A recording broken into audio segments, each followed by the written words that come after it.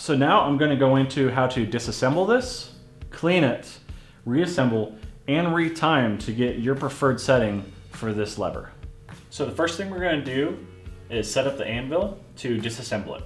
Tools that you're gonna need, it's a 7 64ths, and just something that is pointy. Uh, you can do a knife or just a small punch. A cloth, and if you want to, a little bit of CLP. Uh, you can also use water, you just have to dry it out afterwards. So the very first thing that we need to do before we take off the lever is we need to get this clamp lever facing up in the air with the flat side down.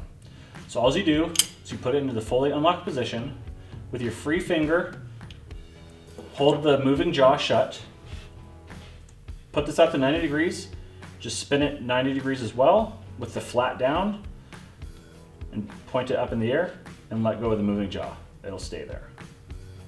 Uh, that is with these new anvils with the lever that has all the holes.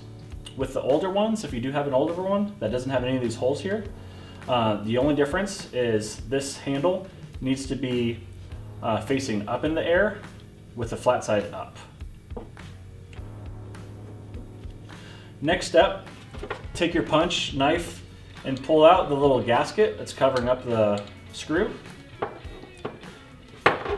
You should have replacement ones that came with it. Here's where your uh, 764ths come in handy. Loosen up this screw. It's going to fully come out.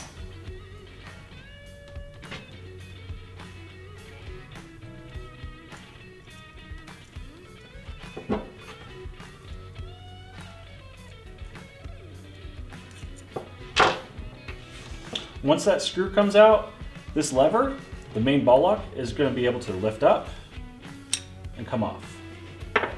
Uh, a good thing to do with this before you take it all the way off is to put it on like a wrench and unloosen it so you can you can get this screw out much easier. Once it's pretty loose, you can finish it up with your fingers. Just pinch the two halves and loosen it up. This comes out, and then at that point, the ball head will be able to split open. So next step after this is all apart, you'll have your ball still be in the bottom half, the O-ring. To get the ball out of the bottom half, you have to pull it out through the top.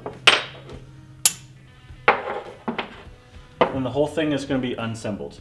You don't have to do the uh, lever release clamp. You can just open that out, um, flush it with water, and then blow it out with air and dry it. Uh, it doesn't need any oil.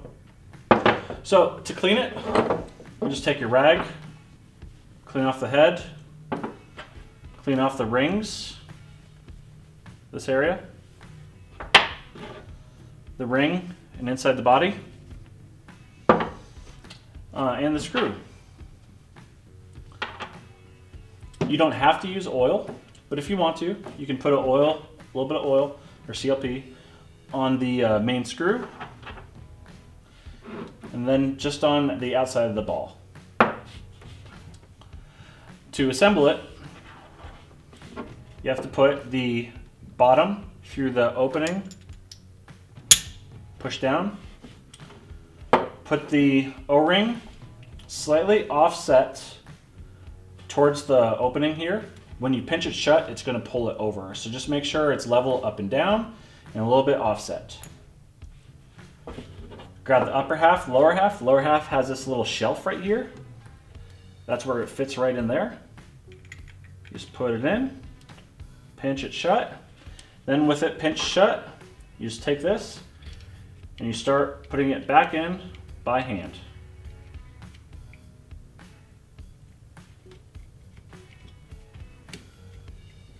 If it's too tight, you can use the lever to do it yourself. This position, you should be able to move this pretty easy back and forth. This is when you can time it yourself. So with the lever, um, you use this as a wrench. So put it on top, shut it. Uh, that was a little bit too weak. So just shut it all the way shut, reposition it. You can go a whole 180 degrees if you want to. Put it back on top, shut it until you have the highest strength that you want. Lift it back up Then just reposition it into its fully shut position.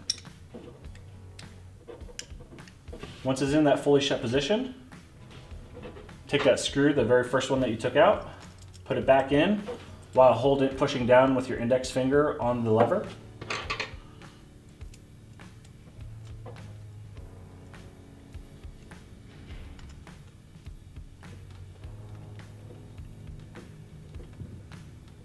Tighten it finger tight. If you let go with your index finger and you do that, it's just gonna open the lever. So it's not gonna strip it out, you don't have to worry about that. And then you've retimed it. So you can open it, you can put your rifle on top, feel how your the movement is. If you want a little bit stronger, just go through those last two steps over again, and that's how you time it yourself.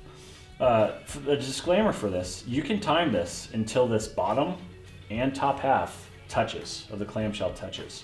Uh, if you do that, it's going to avoid the warranty, uh, and it's going to be extremely hard to move. So you're going to you're going to understand how to do that.